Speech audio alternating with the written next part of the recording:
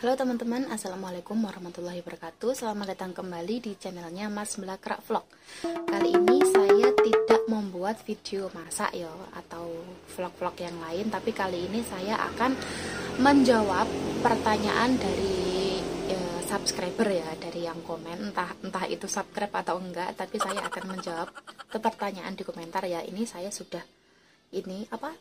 Sudah saya screenshot, sudah saya cari-cari mana yang uh, sekiranya butuh dijawab atau sekiranya supaya bisa menjadi info untuk teman-teman semuanya gitu. Tapi kalau misalnya nggak penting ya lewati saja ya teman-teman ya.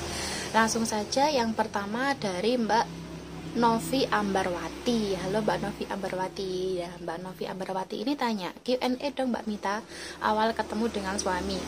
Jadi awal awal saya ketemu dengan Mas Blakra itu saya masih umur uh, kelas 2 SMP ya itu umur 14 tahun ya. Saya masih umur 14 tahun. Dan waktu itu uh, katanya katanya tuh kan saya foto ada foto apa sih ya foto sama teman-teman satu kelas gitu loh. Nah teman satu kelas saya itu temennya Mas Blakra gitu. Jadi dikasih tahu fotonya terus Mas Blakra itu penasaran katanya penasaran dengan saya. Terus ya mungkin ya minta nomornya gitu kayak nggak tahu lupa dulu terus waktu itu uh, Mas Bakrak dulu kan sudah sudah apa ya sudah besar ya. Saya sama Mas Bakrak itu berbeda berbeda 8 tahun. Dulu saya disuruh apa ya bukan disuruh sih tapi Mas Bakraknya itu menawarkan diri untuk uh, supaya saya jualan pulsa untuk ya sekedar untuk uang jajan gitu loh. Jadi saya jualan pulsa dulu yang yang beli ya teman-teman saya. Ya begitulah ceritanya. Lalu pertanyaan berikutnya dari Arya Film Movie. Pertanyaannya ada orang lewat teman-teman? Malu. Pertanyaannya boleh tanya bang kameranya nganggo kamera apa? Kok jernih orang pecah-pecah? Moga-moga dijawab kalau untuk kamera untuk saya ambil video ya ini ini yang saya pakai ini. Dan yang biasa Mas Melakrak pakai untuk ambil video pedesaan itu adalah HP Oppo Reno 4 Pro. Jadi Oppo Reno 4 Pro tanpa tambahan lain ya maksudnya tanpa tanpa mic atau tanpa apa ya? Pokoknya tanpa tambahan lainnya murni dari HP saja. Dan juga kadang-kadang pakai tambahan apa ini? Tripod gitu. Tapi yang sering cuma pakai tangan gini aja karena Reno 4 Pro itu kan sudah stabilizer ya. Jadi yang membuat videonya itu tampak tenang itu ya itu stabilizernya itu. Tapi sekarang uh, banyak kok HP-HP yang sudah sekalian ada stabilizernya tapi ya kalau yang HP saya ini yang biasanya saya buat vlog sendiri yang buat masak itu Samsung A52 ini juga sudah ada stabilizernya gitu. Terus dari Mbak Asti Bahtiar. Ini ini saya menjawab pertanyaan random ya teman-teman ya. Jadi yang sekiranya perlu saya jawab ya saya jawab gitu. Pertanyaannya kalau aku nggak punya uang aku nggak mau ngutang. Makan seadanya. Itu alhamdulillah buat telur dadar lagi enak. Nah ini ini tuh jadi video saya itu ada yang meledak meledak dua gitu. Itu video yang pas saya beli ikan nila tapi tapi ya ngutang gitu ya. Karena anu uangnya itu ketinggalan di rumah. Nah bawa uangnya itu pas apa ya nggak ngerti kalau di tukang sayurnya itu bakalan ada ikan itu. Jadi jadi ya nggak ada rencana mau beli ikan itu gitu loh. Dan sebenarnya saya itu punya penyakit males. Kalau sudah di tempat terus tuh males gitu buat balik lagi.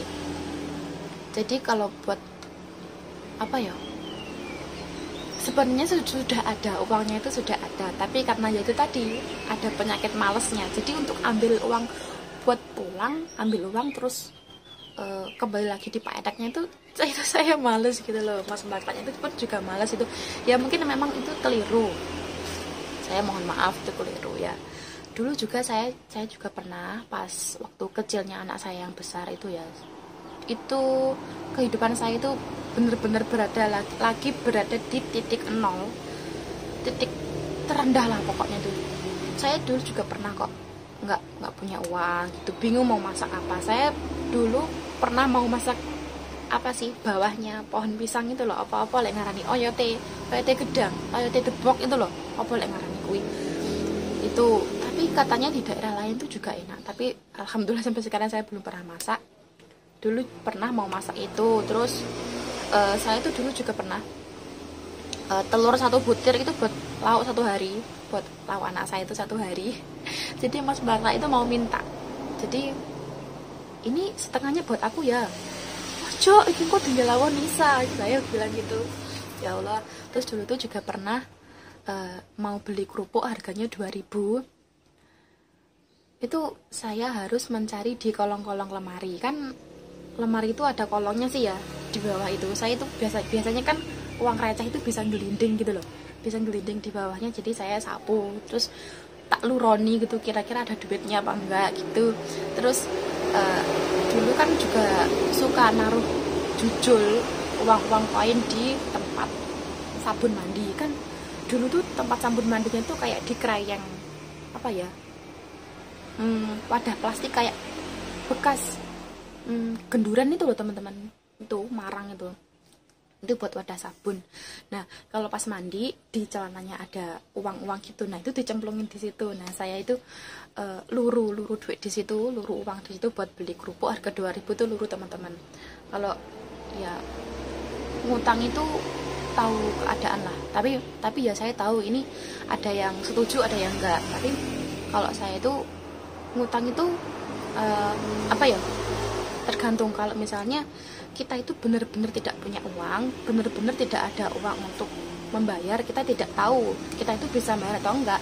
Nah, itu saya sendiri juga nggak berani. Saya lebih baik e, nyambel ataupun makan seadanya. Tapi karena kemarin itu yang nilai itu cuma uangnya ketinggalan gitu teman-teman. Jadi ya besok beli lagi, besok beli lagi, besok dikasih gitu loh. Bahkan e, kadang tuh pak adeknya tuh kalau misalnya beli sesuatu terus nggak ada uang kembaliannya gitu ya. Itu wis kawanan gitu loh teman-teman. Jadi jadi kalau menurut menurut kalau bagi kita orang desa orang itu kayak kayak yang sudah sudah hal yang lumrah gitu loh. Tapi kalau buat teman-teman yang memang nggak pernah hutang itu mungkin ya uh, suatu hal yang sangat sensitif itu ya saya bisa memaklumi lah. Udah gitu ya. Lanjut ke pertanyaan dari Mbak dua putra channel. Kenapa nggih mas? Asalnya 13 subscribe sekarang kok jadi 11 nah ini mungkin mbaknya ini adalah youtuber pemula juga. Dengan kesusahannya untuk mencari subscriber caranya sub for sub gitu. Mungkin ya mungkin. Jadi kalau sub for sub itu memang wajar ya kalau hilang hilang hilang. Mungkin malam dilihat 50 terus besoknya lagi jadi 35 gitu. Itu wajar saya juga pernah mengalami. Bahkan bukan cuma satu atau dua tapi ratusan teman-teman. Itu bisa terjadi karena yang nonton video kita itu belum sampai nonton lama itu sudah langsung subscribe gitu loh. Jadi kayak nggak belum menikmati videonya tapi langsung subscribe gitu. Jadi subscribe-nya itu masuk ke spam gitu teman-teman. Jadi buat teman-teman kalau mau subscribe itu ya paling nggak tonton dulu minimal 3 menit baru subscribe. Itu nanti subscribe-nya bisa masuk. Kalau baru nonton sebentar langsung subscribe itu nanti subscribe-nya masuknya ke spam gitu teman-teman. Jadi ya itu tadi hmm, jadi hilang-hilangan gitu tadi subscribe-nya. Kemudian pertanyaan dari Mbak Eza Faiza ini lucu ya. Pertanyaannya begini. Di rumah piringnya cuma ada satu aja kak. Ini tuh lucu teman-teman. Mungkin ini mengomentari kalau saya itu makannya sepiring berdua sama Mas Blakra. Bukan cuma eh, bukan karena di rumah saya itu hanya ada satu piring, tapi memang kita itu ingin ingin kenduman gitu loh teman-teman. Apa sih kak? Emangnya kalau makan kenduman itu salah, makan sepiring berdua itu salah. Lucu aja gitu loh. Banyak kok piring di rumah saya itu banyak. Terus pertanyaan dari new generation oh Mas, tolong dong review apa aja sih peralatan yang digunakan untuk merekam video biar video bagus kayak di channel satunya Bocah Bakra. Ini pertanyaannya sama kayak yang tadi ya. ini masnya ini tanya di yang video yang bocah belakraknya yang membahas tentang pedesaan jadi sama yang tadi recordnya ambil videonya itu pakai HP Oppo Reno 4 Pro terus editingnya pakai aplikasi KineMaster. Terus tanpa tambahan tanpa peralatan mic tambahan. Gitu ya teman-teman. Jadi cuma itu tok. Terus yang terakhir dari Mbak Ani Anggraini. Kasihan bakulnya sayurnya diutang malah dipamer no malah ngajari. Malah ngajari utang. Nggak bakal subscribe model kayak anda ya terserah ya mbak mbak Ani. Saya juga nggak menyuruh mbak Ani untuk subscribe saya. Saya juga tidak memaksa mbak untuk subscribe saya. Mungkin mbaknya ini baperan karena yang diutang itu saya saya tuh juga saya memak memaklumi saya sendiri juga paham saya juga sadar kalau hutang itu salah. Bahkan saya sendiri ya saya sendiri itu sebenarnya nggak suka hutang teman-teman. Saya tuh dulu pernah disuruh untuk hutang di toko sama almarhum bapak saya. Saya disuruh beli sesuatu tapi duitnya mana? Saya gitu. Ngutang ngodisek gitu. Saya saya nggak mau berangkat teman-teman. Saya nggak mau berangkat beli kalau nggak dikasih uang gitu ya. Jadi saya itu intinya saya itu juga nggak suka hutang tapi karena kemarin tuh sebenarnya sudah bolak-balik ya saya jelaskan. Tapi kayaknya nggak perlu dijelaskan lagi. Ya apa ya saya juga bingung mau jelaskan mana lagi. Ya jadi seperti itu mbak Anggra ini. Mau ngomong apa lagi yo? Uh, mungkin bagi mbak itu bukan hanya mbak saja ya saya sadar kalau hutang itu sangat sensitif untuk uh, semua orang. Tapi balik lagi ke ke yang apa ya ke kehidupan kita sebenarnya di sini itu hutang itu kalau ya saya tadi sudah bilang ya aduh aku beli potan ngomongnya kemalian jadi kemarin tuh kalau uh, sebenarnya besoknya juga langsung saya bayar teman-teman. Saya nggak pernah hutang sampai lama-lama gitu nggak pernah. Uh, kalau menurut mbak kalau menurut sebagian orang itu uh, adalah hal yang sangat sensitif dan mengganggu ya kami mohon maaf. Um, ya begitulah. Sebagai konten kreator itu kita harus diwajibkan untuk selalu bisa sabar menghadapi komentar-komentar teman-teman yang mungkin tidak berkenan di hati. Semoga saya bisa selalu sabar. Semoga saya selalu bisa membuat konten yang apa ya, yang berfaedah. Walaupun sebenarnya selama ini mungkin konten-konten kita itu uh, belum ada faedahnya sama sekali. Ya uh, satu hal yang saya saya sendiri harus pahami bahwa di antara seribu seribu orang itu pasti ada satu dua tiga empat lima ataupun sepuluh yang tidak menyukai kita gitu ya. Jadi jadi begitu. Jadi kita harus bisa menerima perbedaan masing-masing. Ya mestilah ada satu dua orang uh, yang selalu mencari kekurangan kita gitu teman-teman. Dan saya terima kasih sekali untuk semua subscribernya Bocah Bakrak Channel, Bocah Bakrak New, dan Mas Bakrak Vlog saya terima kasih sekali untuk semua yang sudah subscribe dan setia menonton video kita. Tanpa kalian, kita itu mungkin belum bisa melunasi eh, hutang-hutang uh, yang sudah tercipta, yang sudah terlanjur tercipta. Pokoknya saya itu sangat-sangat berterima kasih banyak sekali sama kalian.